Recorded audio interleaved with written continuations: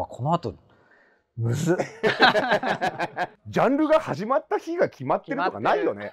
他のジャンルには絶対ないはずなんだよ。絶対ない皆さんこんにちは。ジブラです。あファンビでございます。今日ねあのお誘いいただいてからちょいちょいね。フジロックから。はい。はい。楽しませていただいておりまます。すいえいえいえ。まあいわゆる DJ でいうとこのバックトゥバックみたいなことをするってことですよね多分ね。お互いが持ち寄ったうん。そのテーマの曲でうん。プレイリストを作るみたいなことだと感じ。それでは行ってみましょう。GQ ミックスアップ Let's go なんかテーマがゲームチェンジってことらしくて。ヒップホップのシーン的なゲームチェンジ的な曲と、うん。自分の何か変わったきっかけの、っうん。ていう意味。大変だった。今日の昼間まで まあ、我々2人ともあのヒップホップアーティストということで自分が1曲目に選んだのはこちらになります「ラッパーズ・ライト by ザ・シュガーヒル・ギャング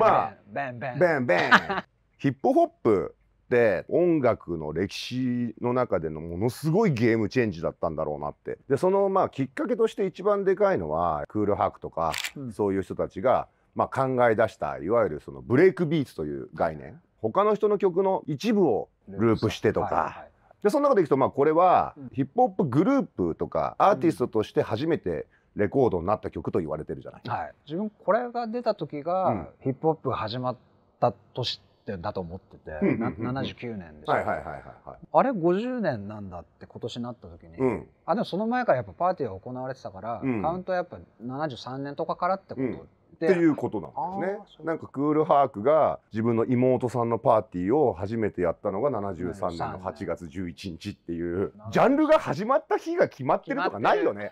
他のジャンルには絶対ないはずなんだよ。どうぞ自分のプレイリスト2曲目こちらになります、はい、クリス・クロスで「ジャンプ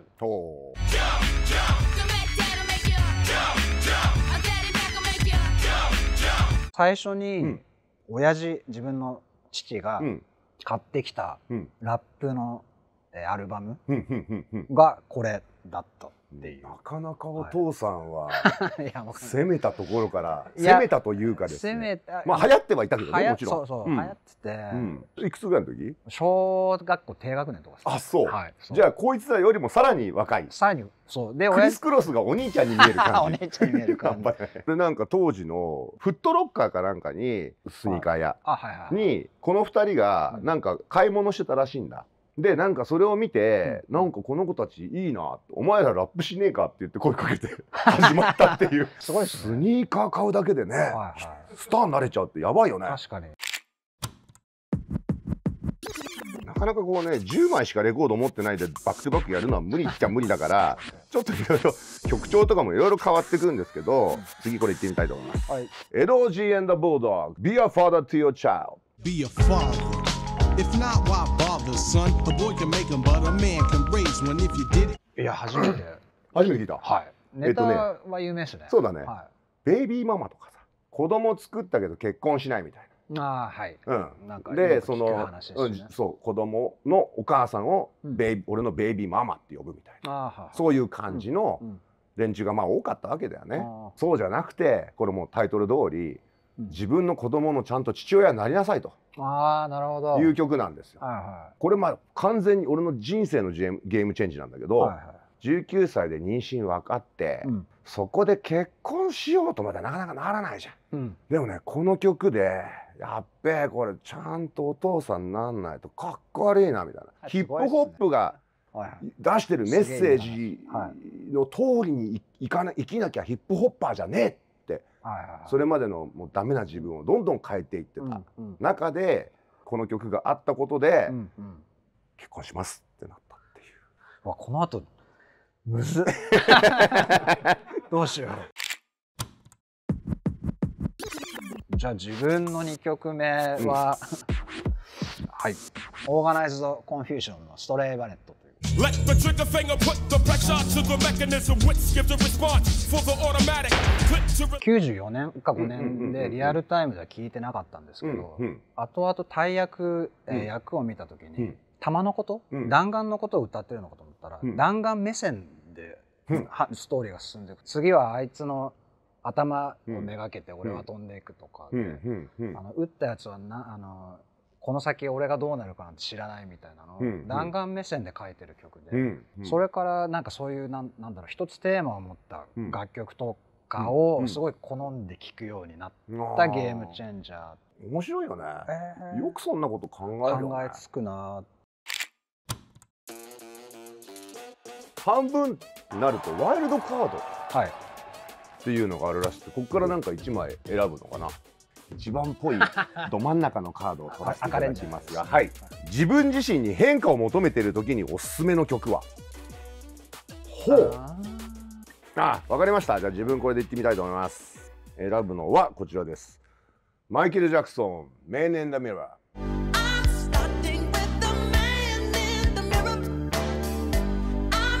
クラシックですね。クラシックですね。自分もはい知ってます、やっぱり世の中いろんなことがあってうん間違ってることもいっぱいあるだろうけどそれを正すにはまずは自分から、うん。鏡に映る自分から変えていこう、ミュージックビデオはあれですよね。結うん構その社会のそうそうそうそうそう。戦争だったりのそう映像のビデオ、まあマイケル・ジャクソンってとにかくさ、うん。なんか地球レベルのテーマみたいな。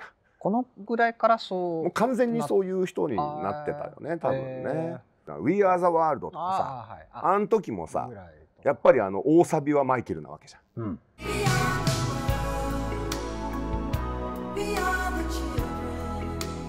マイケル・ジャクソンがこうバーッとスターダムに上がってった時代って、はい黒人が何か言ったところでうん別に世界は振り向いてくれなかったんだよね。あでマイケル・ジャクソンだけが振り向かせることができたみたいなところは俺結構あるんじゃないかなと思ってて。だからそのポジションをすごく意識してうん。音楽を作ってたんじゃないかなっていう、ワイルドカード。ごめんね真ん中。あはい。あんまりあの体力使わない。一番手前だはあ？なんだそれ。マジか。はい。やっと時代が追いついたなという一曲。うーんではじゃあはいこれにします。ほい。はい、えー憧れのコンクリートグリーン。これ自分の曲に。ほうほう憧れだった。コンクリートグリーン。今だ謎のままシートの匂いあの若いですね。声が若くてうん。だいぶ恥ずかしい感じですけど。いやいやいやいやいや。UMB ってバトルに出たはいりとかしてた時期が2000ほんと56年7年ぐらいでありまして、うんうんうん。その時ぐらいに、うん。シーダ君が、始めたムーブメントでコンクリートグリーンという、うん。えーラッパーのデモテープを、うん。あのかっこいい音源を紹介していくミックス CD があって、うん。うん入りてえこのコンクリートグリーンシリーズにみたいなうんうんうん感じでデモをいっぱい送りまくってたんですよ。うんうんうん。2006-7年ぐらいのうんうん。7番で入ることがうんできたことがうんあって、うんうわーみたいな、うんうんうん。そのそれはあの「お隣さんより凡人」って曲だったんうんですけど、うん。この後にまた当時のうんそのコンクリートグリーンと自分を取り巻く、はいはい。えー状況を全て書いた曲を作ったのが、うん。えーこれ。まあコンクリートグリーンってミックステープ自体がゲームチェンジャーだったよね。あのいろんな曲を入れてるうんっていうところから、うん。自分を紹介するものに変わってたじゃないですか、未発表の曲入れて、はいはいはいはいはい。ストリートアルバム的ストなね。リートアルバム、うん。あとシーダ君がドライブ行こうよって言ってきて、うんうん。えすげえシーダとドラシーダ君とドライブ行けるっつって、うん。助手席に乗ったんですけど、これもしかして職質させないためになんかすなんか俺座らせたんじゃないかなみたいなその歌詞とかも はいはい。書いてあって、うん。なんか結構自分の中でそのうん食らったムーブメントだったんで、うん。うん。次自分が選んだのはベスで女サンデーでございます。俺にとって最後の My Love 金も信用願うそのない Love 許されるとにかく表現が素晴らしくて子供を思う気持ちの強さみたいなのがもうこの曲には半端じゃなく入っててもうぶっちゃけもうあの今でもこれ多分フルで聴いたらまた泣いちゃうんだけど、でそれと同時に俺当時思ったのは、はもっと金になる仕事振ってやればよかったとかすっげえそのなんかそんな俺がどうのじゃないけどすごいですね。そのだみんなに思ったりするものなんですか？これはねちょっと俺が本当特殊なんだけどはい。二十歳でお父さんになっちゃったからさあ俺からするとみんな息子みたいな気持ちになっちゃう。ーあーなるほどみんな。ヒップホップが大好きで本当にここに全てをかけてるやつ全員幸せだったらいいなっていつも思いい話。いえいえすいません。でも自分もここで一曲やったら次最後ってことですそうだね。あそうだね。俺もだからあともう一曲ってことなのか。はい。そしたらば、はい、決めました。はい。ゲームチェンジの曲はこちらですね。スラックのグッドモア。Good morning sunshine. お日様。10am 起きたら。おっす。はい。夏い。夏い。夏い。うん。今はやってるものうのん。始まりうん。っていうノリで、弟がやっぱ、ラップ楽しい、もっとやりたいってなってからも曲を作るスピードが止まらなくなっちゃって、じゃあこれ流通させられるかななんつって、うん。でも流通はさせられないんじゃないって最初になって2人で相談してて、うん。じゃあ自主で出そううん。ってなった時に弟がその8万円うん。がかかるんですプレスに。銀行に行った時に8万円なくしたんですよ。お 弟が。8万円がないっつってもうほぼ半べそで帰ってきて、うんえーってなって、うん。どうしようじゃあ流通会社さんにダメ元で聞いてみようかっうん。てウルトラバイブさんうにん。頼んだらうん。OK が出て、うだその8万円を盗まれなかったらうん。こじんまりやってたかもしれないしっていうきっかけがあったりとかして。俺それこそ当時あのカンちゃん？高木カンはいさん、はい。カンちゃんに「いやちょっとすごいのがありますよ」っつって。お大プッシュした覚えがあるよ当時。あそうなんですね、うん、もう弟が褒められると悔しいって思わないと思ってたんですけど、うん。やっぱまだ思ってます。自分最後に選ばせていただいたのは、はい。えー今日出てる曲の中多分一番古い曲になっちゃいますが9曲目ははい。The Five Stair Steps の「ウーチャイルド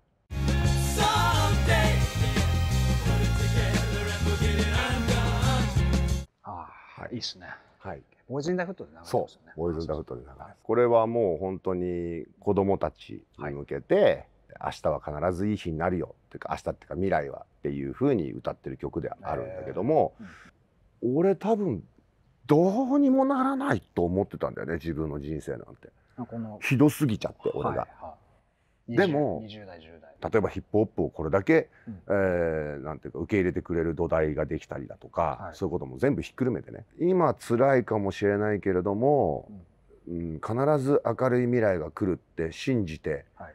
いくことがすげえ大切だし、うんうん。それでもいろいろリンクしますね。そうするとまあそうだね。ヒップホップの今よりもそんな人気なかった時代とか、うんうんうんうんあとジジブラさんの生活のその時、まあそうだね。はいじゃあ。締めでございますですよ。はい。締め。まああと300枚ぐらい欲しいけどな本当このカードな。えじゃあ自分の締めはですね、うん。自分の友人の曲になるんですが、はい。メテオ君の、うん。えー、4800日後という。周りが変化したらそれに合わせ変化してく俺は変じゃないよね。だってさ。メテオ君あのすごい自分を仲良くさせてもらってる、すごい昔からはい。ラッパーなんですけど、割と4800日後のことを歌っていて、うん。フックで、うんなんか周りが変化しても、うん。それに合わせて変化する俺は変じゃないよねみたいな。で、うん。うまだってさやっぱうまくやりてえじゃんかさって曲なんですよ。うん。それがうん。結構衝撃でしょ、うん。なんかうんラッパーの方々ってボーストだったり、うん。強く見せたりとかうん。っていうものが少なくはないと思うんですけどなんか人間だしうんししくじっちまうこともあるよなじゃないですけど、うんうん。こういうさらけ出し方っていうか、うんうんうん。なんか人間だしでもやっていくしかないよなみたいなうんうん。意味で、あの最後に選ばせていただきましたという。これあの感じ。3650日後じゃなくて4800日後って。いやなんか意味はよくわかんない。これプレイリストの名前をつけなきゃいけない。タイトルむずっむずっあのイベント終わった後のベロベロベロベロベロベロえータイトルできました、はいえー発表したいと思います今回のタイトルはベロベロ泣きながらバックトゥーバックです! I. Come back, dad'll make you. Be a father. If not, why bother? Let the trigger finger put the pressure to the mechanism. 憧れだった。コンクリートグリーン。俺にとって最後の My Love Good morning sunshine お日さ